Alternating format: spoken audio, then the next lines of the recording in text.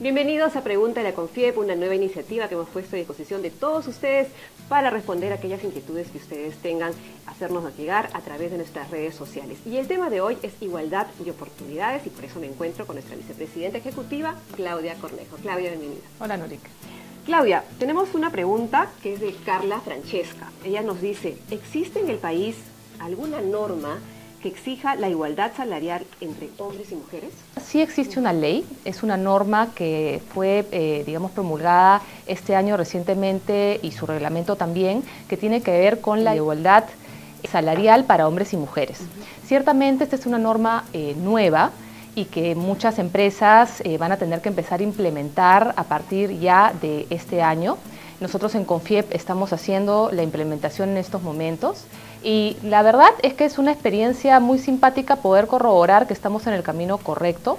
Sin duda, eh, dependiendo del tamaño de la organización, va a ser más retador poder ir incorporando esta, digamos, esta normativa, pero es algo que nos parece fundamental y que pensamos que puede ayudar muchísimo a que las empresas puedan realmente tener un instrumento que les sirva para poder evaluar cómo están y qué aspectos tienen que mejorar.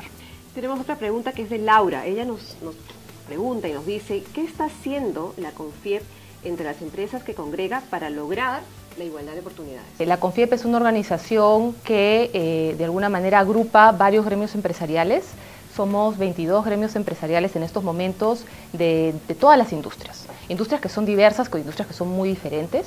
Y sin embargo, eh, yo creo que tenemos en estos momentos eh, con nuestros asociados un nivel de cercanía para poder hacer que este tema no solamente se converse de manera seria dentro de los gremios, sino además que estos gremios puedan llevar este mensaje a las empresas que asocian. Y esto es muy importante porque entonces la escala que podemos alcanzar es una escala mayor. Muchas veces a veces tendemos a pensar que los expertos usualmente son hombres, pero sin embargo nosotros tenemos muchísimas mujeres en diferentes rubros que tienen unas capacidades impresionantes. Lo que necesitamos es convocarlas, que, participen y que se les conozca. Entonces son estos pequeños cambios los que tratamos de hacer para que efectivamente el tema de igualdad de oportunidades se empiece a sentir y empezar a reconocer todo el talento que tenemos en, el país. Anderson López Rojas pregunta, ¿qué hace el sector privado para mejorar el acceso a la educación? Así como el tema de la igualdad de oportunidades, eh, el tema de la salud y el tema de la educación para nosotros son dos temas realmente que son pilares. Eh, en el caso puntual de educación, eh, Confiep tiene una alianza que ya tiene más de 10 años con eh, la Asociación Empresarios por la Educación, que es una asociación que congrega empresas privadas y lo que hacen es brindan apoyo al Ministerio de Educación para poder capacitar profesores, eh, tanto de, primaria como de secundaria a nivel nacional. Revalorar el rol que tiene el docente porque finalmente es el que imparte el conocimiento en las clases. Esta es una alianza realmente muy bonita y, y que ha llegado una cantidad muy, muy importante de, profesores y por tanto de alumnos a nivel nacional con la cual estamos absolutamente comprometidos.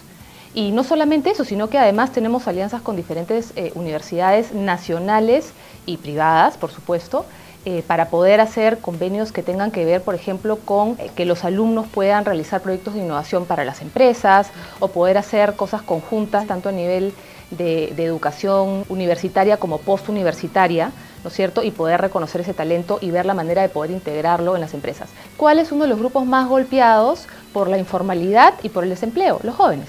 Entonces tenemos que tratar de tener herramientas que sean más eficaces, más eficientes, para que la gente joven, los chicos y las chicas, puedan integrarse de manera, eh, digamos, más justa al mercado laboral, ¿no? Claudia, otra pregunta que tenemos es de Bárbara Ventura y ella nos, nos dice, ¿por qué aún no se cumple la inclusión laboral de personas con discapacidad?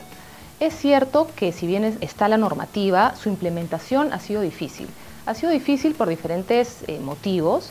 Uno, uno tiene que ver, por ejemplo, con el hecho de que no hay distinción de industria y no necesariamente las industrias son iguales. Yo creo que todas las personas tenemos diferentes aptitudes y ahí pensaría que no hay diferenciación. Entonces, la verdad es que en lo personal yo te diría que prefiero que no hayan estereotipos. Yo creo que hay que ver dónde está el potencial, la potencialidad de cada persona y tratar de hacer match con un espacio laboral que no solamente vaya con esas aptitudes y capacidades, sino que además le sea grato. Hay mucho talento que está desperdiciado, que no lo estamos sabiendo aprovechar, que no lo estamos sabiendo incorporar a un mercado laboral que necesita gente con talento. Entonces vayamos más allá de eso y veamos a las personas realmente por sus competencias, más allá de si son hombres, si son mujeres, si vienen de provincia, si son jóvenes, si no lo son, si son adultos mayores que de repente quieren hacer otra cosa y por qué no se pueden incorporar. Veamos el talento, yo diría. ¿no? Gracias Claudia, esas han sido las preguntas que hemos, bueno, parte de las preguntas a través de todos nuestros canales digitales, cuestiones de tiempo, hemos preparado algunas de ellas para poderlas contestar. Y eh, vamos a decirle también a nuestros seguidores que vamos a responder a aquellas que han quedado todavía por responder a través de nuestros canales digitales. Gracias por estar acá con nosotros y responder las preguntas de nuestros seguidores.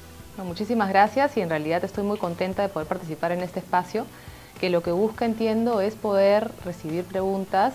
Nosotros lo que queremos es escuchar a las personas, ¿no? Y cualquier pregunta que puedan tener con respecto de temas que tengan que ver con el trabajo que nosotros desarrollamos, encantados y ojalá digamos que haya mayor oportunidad para poder seguir interactuando a través de las redes sociales o a través de espacios como este. Y bueno, muchísimas gracias a las personas que nos han contactado con sus preguntas y como tú bien has dicho, lamentablemente por un tema de tiempo no hemos tenido oportunidad de responder a todas, pero vamos a hacerlo ya de manera directa y, bueno, muchísimas gracias. Muy bien. Pregúntale con